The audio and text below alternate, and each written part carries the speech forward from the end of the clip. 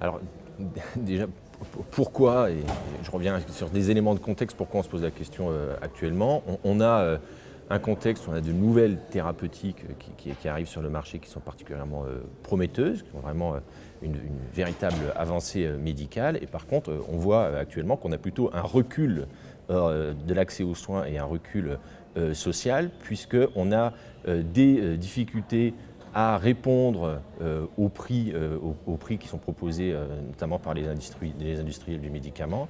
Et donc on a de vraies questions, de vrais enjeux sociétaux qui sont posés globalement pour qu'on trouve un système qui soit pérenne et qui évite le tri des malades, puisque très concrètement dans le cadre de l'hépatite C, c'est la proposition qui a, été qui a été faite par le gouvernement. Donc il y a des véritables enjeux sociétaux à poser, à poser ensemble principalement sur la, question de l'innovation thérapeutique et le prix qui est fixé à ces médicaments, et plus globalement sur le coût euh, de la santé en général, et de, voir collectivement comment euh, on peut euh, effectivement ensemble travailler sur le coût consacré à la santé et, voir effectivement quelle est, la part qui peut être consacrée aux médicaments, et puis quelle est la part de, coût de santé qui éventuellement n'est pas ou, mériterait euh, d'être discuté. Donc il y a de vrais enjeux sociétaux.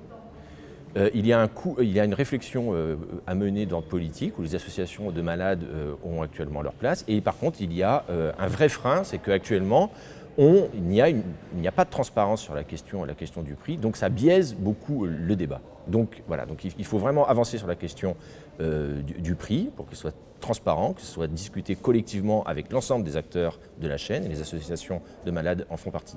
Après, comment euh, très, concrètement, nous, on a, plusieurs points. On a déjà, premier point, euh, renforcer le contrôle euh, du Parlement sur la question, puisqu'on voit que le, que, le, Parlement n'est pas correctement associé à la question du prix des médicaments. Et a une vision qui n'est pas transparente et qui n'est pas complète sur les négociations. Donc ça, c'est un premier point.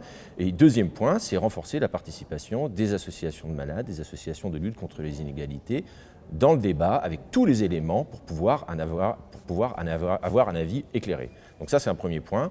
Deuxième point sur le, prix du médicament, il y a une vraie question, c'est qu'il faut aussi avoir tous les éléments euh, de, de, débat, de discussion, euh, pour pouvoir effectivement euh, savoir exactement le coût qui est consacré à la recherche, et qui effectivement euh, mérite une, rémunération, et le coût qui est consacré euh, soit à des opérations financières, ça a été le cas du Sovaldi, donc un traitement contre l'hépatite C, ou des coûts de marketing qui ne correspondent en rien à la recherche. Donc il faut inciter la recherche quand elle le mérite, mais il faut aussi être en, mesure d'avoir les éléments pour voir effectivement qu'est-ce qui ne ressort pas de la recherche, mais qu'est-ce qui ressort simplement d'opérations d'ordre financier.